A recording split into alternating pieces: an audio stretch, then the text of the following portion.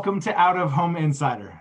Today's episode is brought to you by LED Truck Media.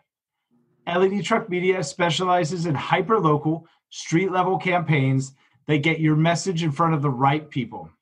Whether your campaign is one day or one month, with nationwide coverage, your campaign can be live in any major market within 24 hours. If you want to reach your perfect audience in a truly engaging way, visit ledtruckmedia.com. LED Truck Media, out of home advertising 2.0. Thanks again for making today's show possible. All right, without further ado, let's meet today's guest.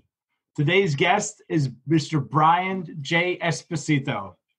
Brian is a serial entrepreneur and the Bruce Lee of connecting people and adding value to some of the most exciting global developments in fashion, technology, and music. He has been featured in corporate investment times and is a highly sought after keynote speaker around the world. With over 20 years of practice in developing relationships that create positive sum value, true win wins, Brian has found a way to scale the business of connecting people. Living by the mantra of time is our most precious commodity, so let's make the most of it. Brian, welcome to the show. Hey, T Row. What's up, pal? Pleasure to be here.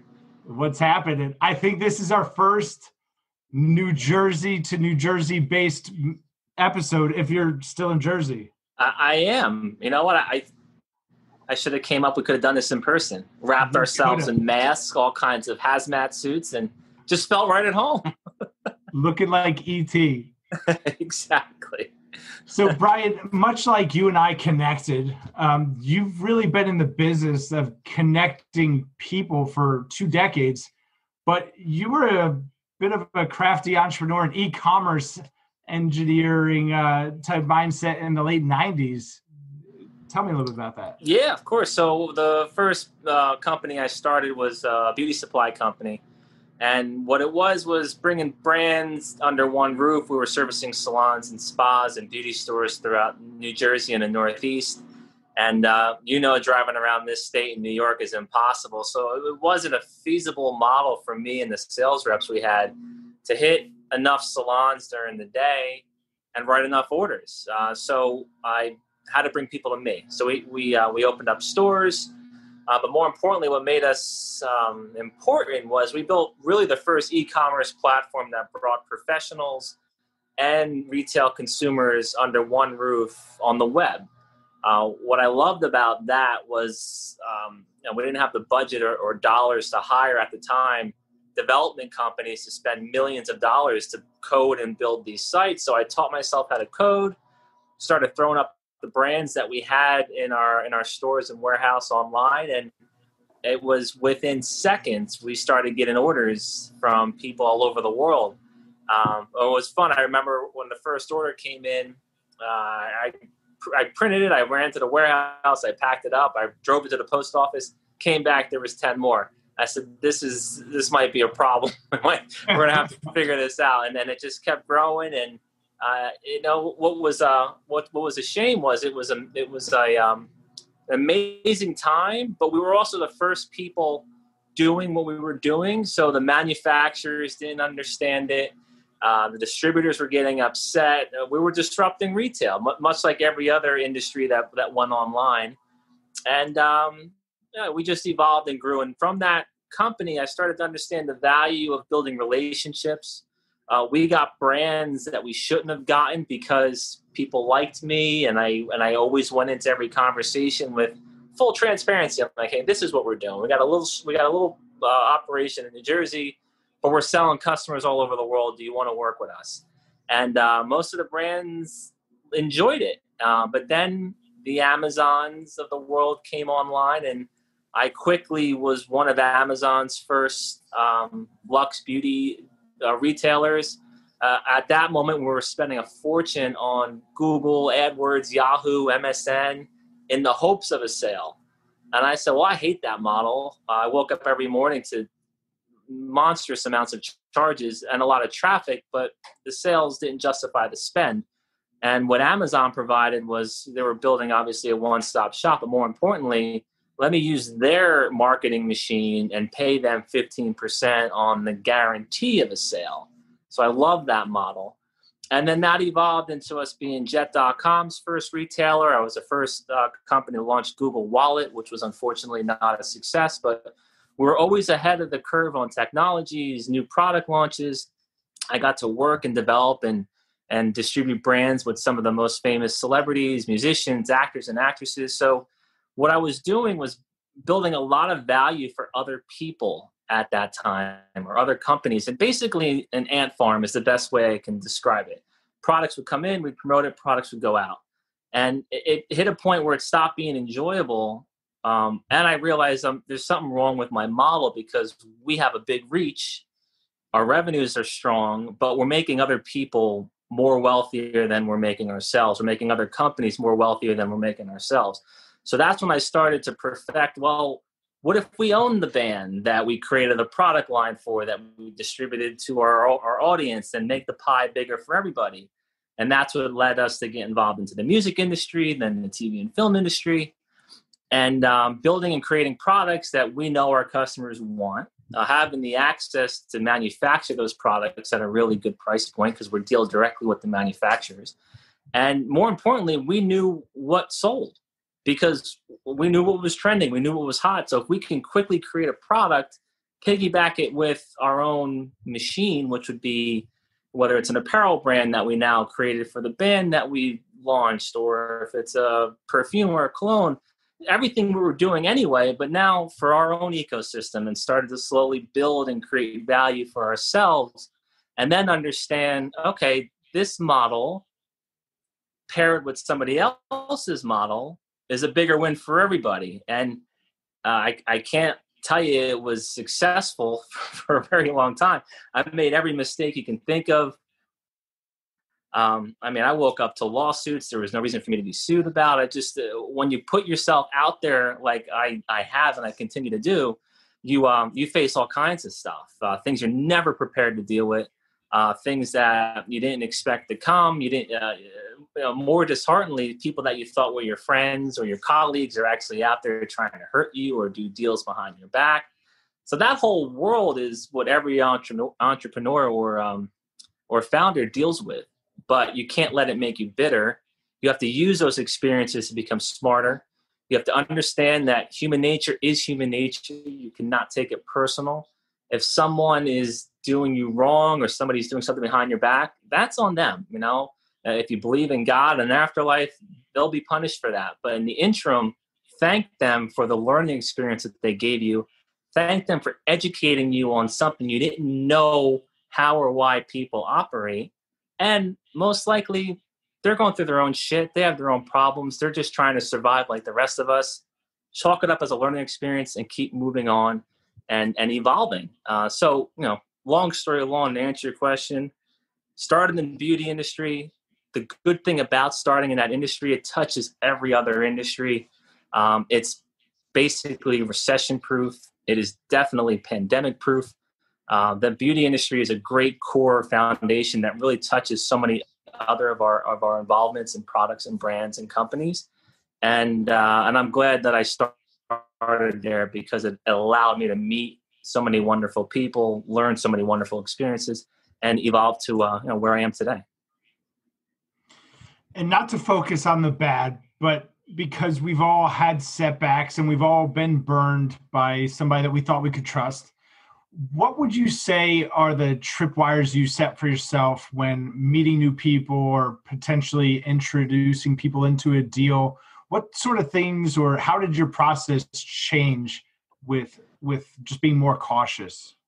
Sure, and and if you want to take the time focusing on the bad, by all means, I have I have no problem uh, no problem doing that because uh, I'm I don't want to take this time to self promote. If we can, if I can take time speaking with you and help somebody navigate through those waters, I think that's time you and I can have well spent.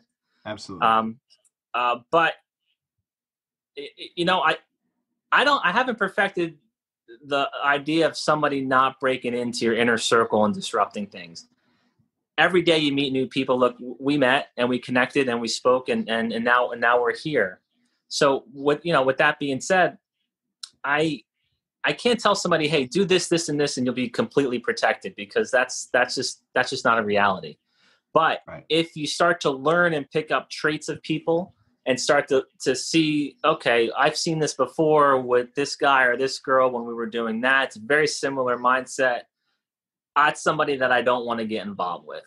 Um, and I hate to say it, but even introductions from your closest friends or confidences that that uh, confidants that's that's not a trusted source because nine out of ten times when somebody introduces me to somebody that from somebody that I know, instinctually your guard is down, so you, you feel it's an okay environment, and um and it's and it's not. It's uh it's it's you just have to have consistent processes where okay this is what I do. Um, uh, this person contacts you, you want to work with them, and you go through your own checklist. Uh, obviously, go with your gut always. Don't don't force a friendship or force a business relationship because you know a, a partner of yours introduced them to you, or your accountant, or your lawyer, or a friend. If it doesn't feel right, you got to go with that because there's something telling you instinctually that it's not right. Don't force it to don't force it to work. Now, at this point, um, yeah, I'm an adult. You're an adult. We are who we are. I, I, I think we can evolve and have a little more patience. I think we can have a little more understanding. But the traits are set in place. You know, maybe from mid 20s on.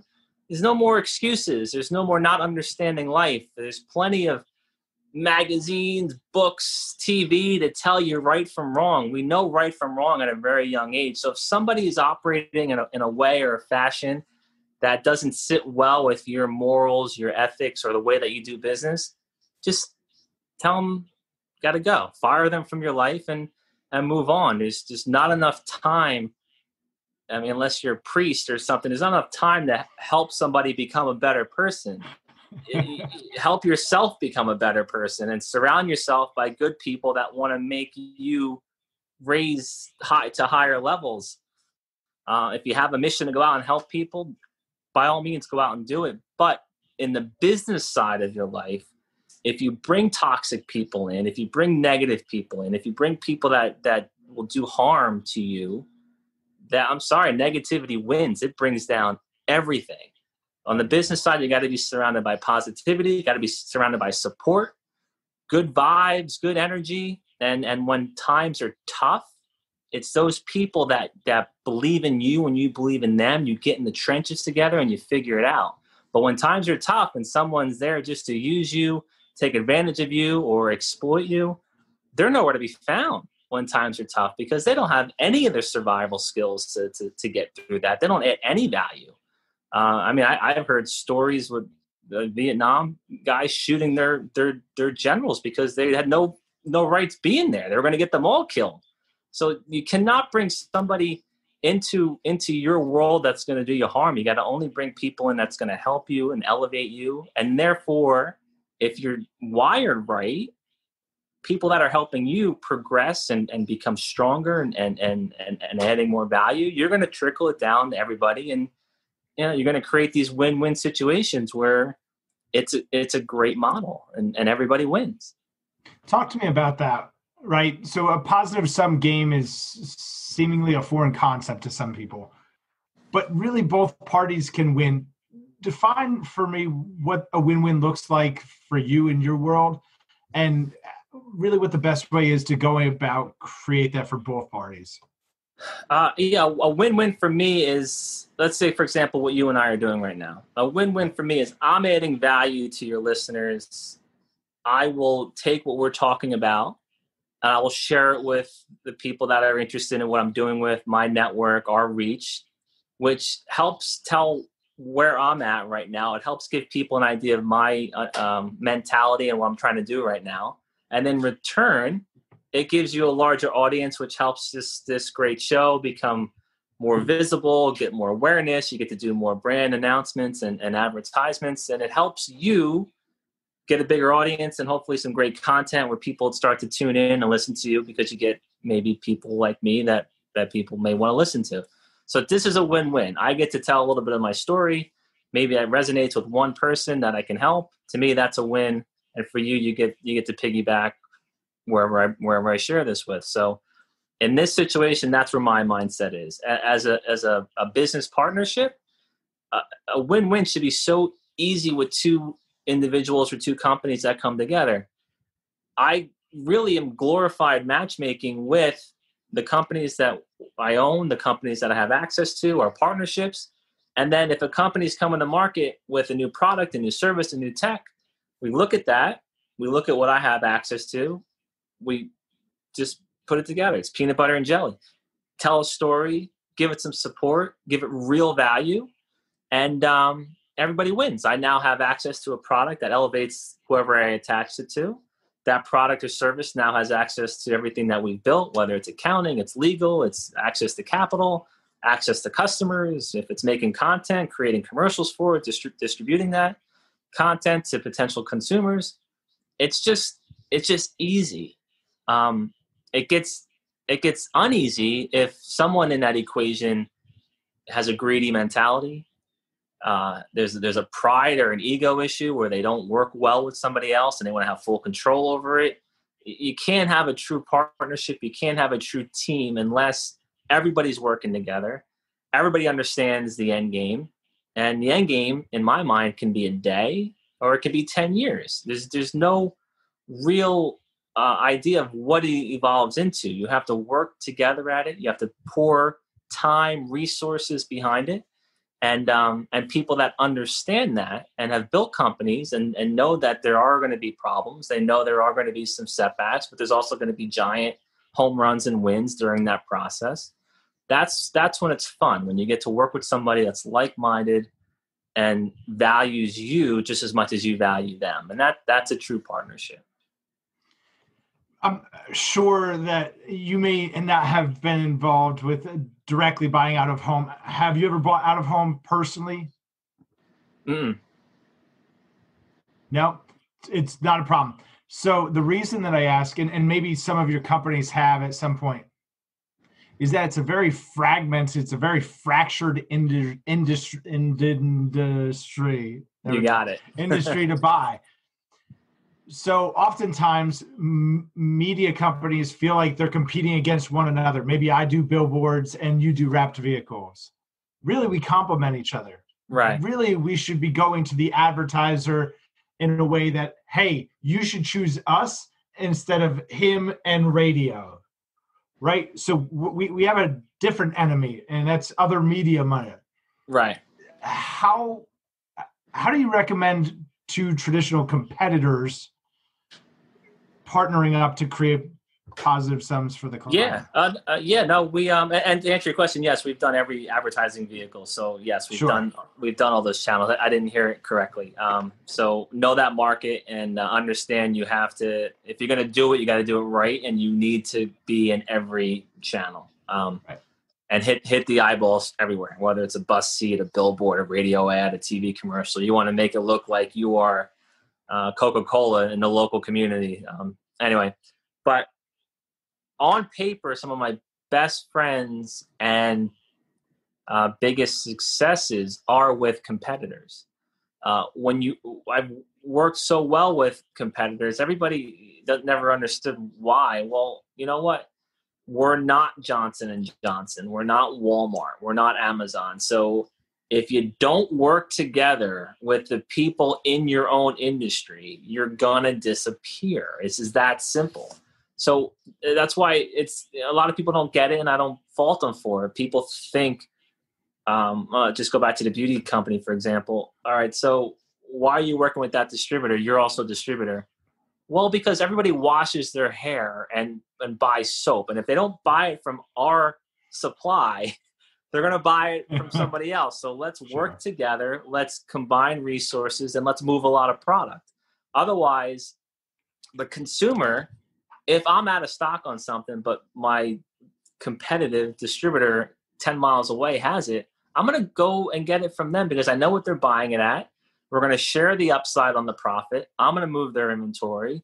It's a win and I'm more importantly, I'm going to make sure the consumer gets what they wanted and as quickly as possible. Because if if the product's out of stock and they want to buy it from me, but I don't have it, then they're going to go pick it up at the food store when they go get eggs and they're going to try something else and then it's it. I lost them. So it's very important that competitors in that middle market, almost small to middle market, work together. And now more than ever, you got to work together. People have no idea what's going on in the world, how they're going to make money, if they still have a business, if the landlord's going to be able to keep their uh, building operational or they have to sell it or foreclose it because the rents aren't coming in because there's no stores there.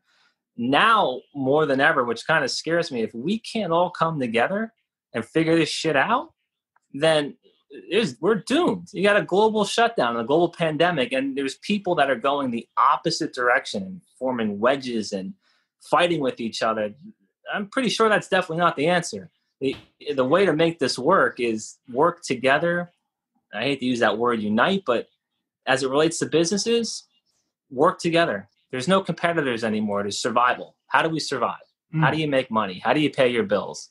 How do you make sure your rent and your light your lights are on? So that's where people need to have a little shift in priorities. And I and I'm hoping that's one of the outcomes right now where people understand what's important. Family's important. Basic needs are important.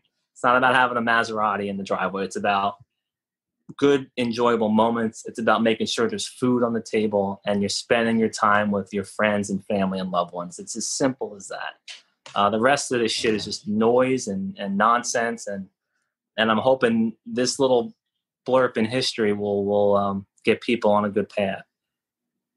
I'm hoping that we can look back at this conversation and uh, reflect on things of being a little bit more like that. That would be nice.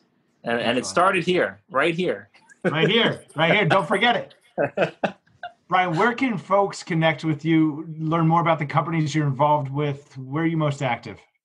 Uh, uh, Twitter and LinkedIn, or or on my own websites, eie.rocks. But as you know, I respond to everybody, and as quickly as I can. It, it may even look like it's a automated response, or I don't have an assistant. I'm I'm right there, hands on. And you know I have to blame for that? Those um, my dear friends at Amazon and, and Mr. Bezos. Because if I didn't respond to a customer within 13 seconds, they would turn off my account and they would blacklist me, and they would I would never be able to sell a product on their platform again. So they I went to Vietnam with with Amazon.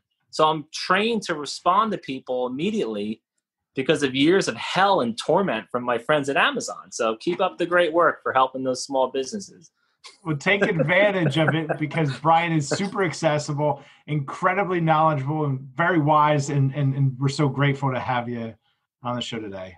No, I appreciate that. It's an honor. Absolutely. Brian, if you weren't doing what you were doing, if you weren't connecting companies and building empires, what would you be doing? I would be in the in the music studio, working with artists, helping them helping them make their uh, helping them make it. That's that's an industry that I love. Um, actually, if you can go back to 19, I wouldn't give up playing baseball, and I would go be playing single or double A somewhere because that was the happiest I've ever been. Um, but those two things, I'd either be playing playing baseball or I'd be helping musicians create a create a career. That's pretty awesome. What are you most excited about right now? Uh, within our holdings, we have uh, my gosh, so much, so much great things happen. There's a co- company called Nodle. Uh, it's become the world's largest global wireless IoT network. We're connecting hundreds of millions of devices around the world. And uh, more importantly, because of having our own network and, and creating uh, use cases on that network, we launched uh, with a company called Avnet, Fortune 200 public company, a device known as the Nodle M1. And it's a privacy focused contact tracing wearable and uh, mobile app and solution where we believe it's the it's the perfect uh, answer to get people back to work. It notifies you if you're in close proximity of someone, uh, but more importantly, uh, through our privacy protocols, it'll notify HR once a device is hot, meaning that employee is infected with, let's say, COVID or some sort of infectious disease, and then it will go back and ping every device that that infected device was in close proximity of, of notifying them that they need to get tested, possibly stay home, or monitor themselves. Now, what you do is you quickly contain, you quickly inform and educate, but more importantly, companies like Tyson's Food or these automotive plants don't have to shut down their entire operation because one person is sick and they may only been in close proximity of someone that maybe was three or four or five people opposed to telling hundreds or thousands of people not to come to work. Uh, so that's an incredible project. We, we spun that up in, in uh, lightning speed. The inbound demand is, is, is so strong. Um, in addition to that uh, we launched uh, in our, one of our other holdings a company called FitMatch for the retail space and its virtual. Yeah, that looks cool. FitMatch is a home run, and, and it's a home run because of timing. Uh, people are not going to go into a dressing room uh, maybe ever again, uh, or, or, feel right. comfortable trying on clothes and leaving clothes in that room and being in that close proximity um, where someone was was recently at. Um, so what FitMatch is, we we we partnered with Brookfield Properties other real estate management companies on the commercial and residential side where we're rolling out FitMatch experiences. You go and you get over uh, you go you go into this really cool uh, experience in one of our store locations. It gives you a full body scan. You get an avatar of yourself with over 150 data points.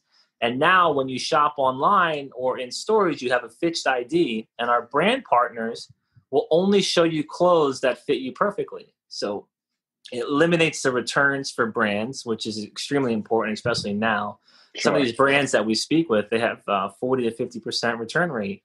With FitMatch, we believe that'll be below 5%. So now you don't have an issue with um, all the all the lost costs on return clothing or discounted clothing. And then um, uh, more importantly is the uh, obviously the contactless shopping aspect of it and then making the consumer feel good about buying clothes that they know is going to fit them perfectly and it matches their style preference. So you have an elevated customer experience with a very low or to no return rate. Uh, so it's becoming a savior to all of these fashion and apparel brands, and, and the inbound growth is, is phenomenal. The other, uh, I hate to only pick a few because there's so many great companies, but um, a company called Boxabl is on fire right now. We just received yeah, House uh, in a Box. House in a Box. It's uh, that's it's crazy. How's that work? It, it, it's uh, due to the manufacturing processes, the way that these things fold up, uh, and be able to ship on regular tractor trailers, so not an oversized load. Uh, you deliver a 20 by 20, 400 square foot Boxabl is our first product known as the Casita, the Boxabl Casita. There's over 100 million in pre-order revenue right now. We just got a um, Department of Defense contract for 120 Casitas for uh, delivery within the United States and uh, we're working with Porsche Consulting on the design and manufacturing of of the actual factories that will automate home building. So look what auto, uh, automotive has done on being able to create a car within you know, minutes.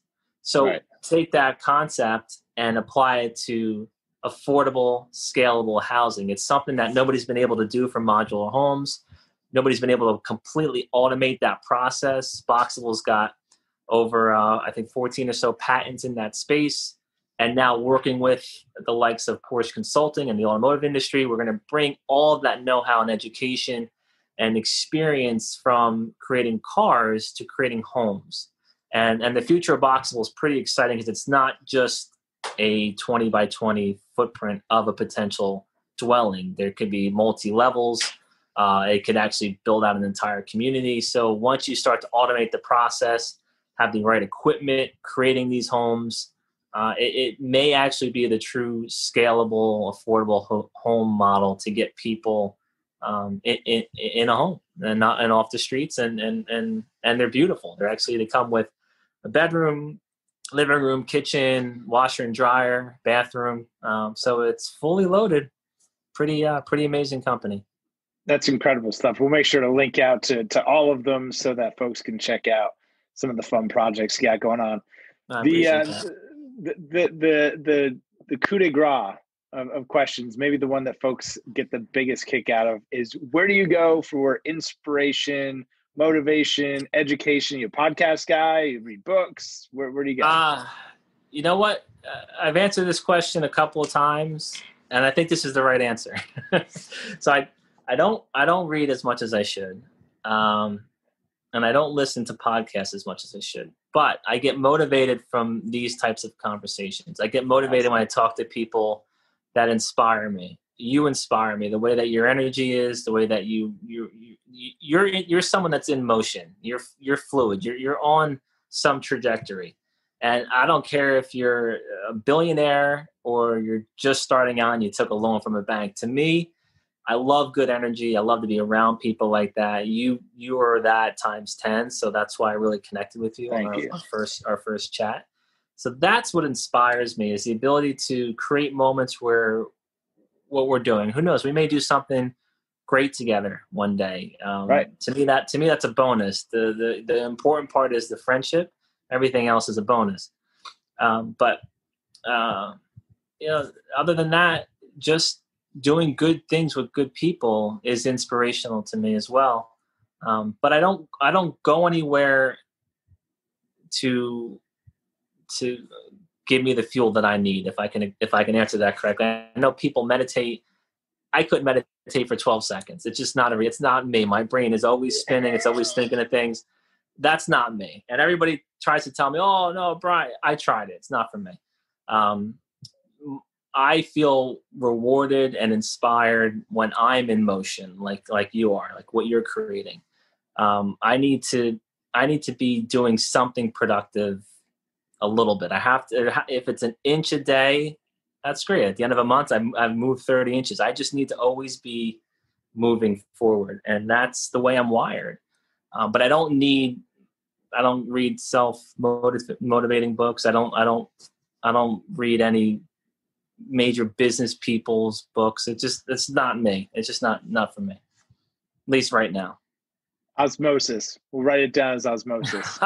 Is that all I could have said? It would have saved two minutes. no, no, no, it was articulated beautifully right, we're gonna have to do this again sometime. We're gonna do it in person next time. Hazmat yes. suits, whatever we got to do. it's been it's been an absolute privilege. Uh, thanks for thanks for being here today. Yeah, it's my pleasure. Thank you. I appreciate the opportunity. Absolutely. And if you found this to be helpful, please share it with someone who could benefit. And as always, go ahead and smash that like button and uh, subscribe below, and we'll see you guys next time.